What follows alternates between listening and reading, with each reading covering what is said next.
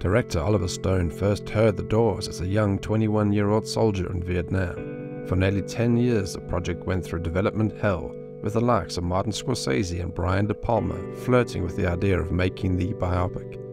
Through many legal battles with the parents of Jim Morrison's girlfriend, Pamela Courson, and opposition from some of the surviving band members, Oliver Stone finally got to make his transient biopic of Jim Morrison and the Doors. Welcome to the Rewind Zone. Thanks for joining me as we revisit the cast of this 1991 classic featuring Val Kilmer and Meg Ryan. We'll update the actors for you in 2023 and let you in on some interesting insights into this iconic film. If you're ready, let's hit rewind. Through its decade of being tossed around like acid during the 60s, many leading men such as Tom Cruise, Richard Gere, Johnny Depp, and John Travolta showed interest in fronting up as Jim Morrison. Singers Bono of U2 as well as Michael Hutchence of INXS also expressed interest in the role. When Stone took over the project in 1988, he always had Val Kilmer in mind. He had seen Kilmer in Ron Howard's fantasy Willow in 1988 and was impressed with the actor. Kilmer had a very similar singing voice to Morrison, and to show the director that he was suitable for the role, he spent thousands of his own money to record an 8 minute audition tape depicting Morrison in various stages of his life and belting out the band's famous songs.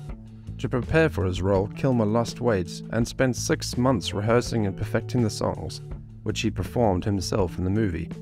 Kilmer also spent hundreds of hours with the Doors producer Paul Rothchild, who related stories, tragedies, and helped with pronunciation, and interpreted the music from Jim's perspective to allow Kilmer to fully encompass his role. It has been reported that when the band members heard Kilmer sing, they couldn't tell who they were actually listening to.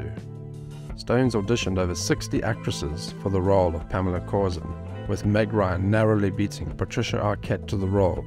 Casting director Risa Bramon felt that Arquette auditioned very well and should have got the role. Meg Ryan was not a fan of the Doors and spent time speaking to the Coursons and friends of Pamela to gain some insight. She noted through her research that she encountered several conflicting views on Pamela. With a budget set at $32 million, The Doors was filmed over 13 weeks, predominantly in the area around Los Angeles, Paris, New York, and the Mojave Desert. The film grossed only 34 million at the box office and was met with very mixed reviews from critics. As previously mentioned, Kilmer performed all the songs in the film to avoid lip syncing. He would sing over the Doors master tapes that they had edited to remove Morrison's voice. The concert scenes took several days to film and proved to test Kilmer's stamina physically and vocally.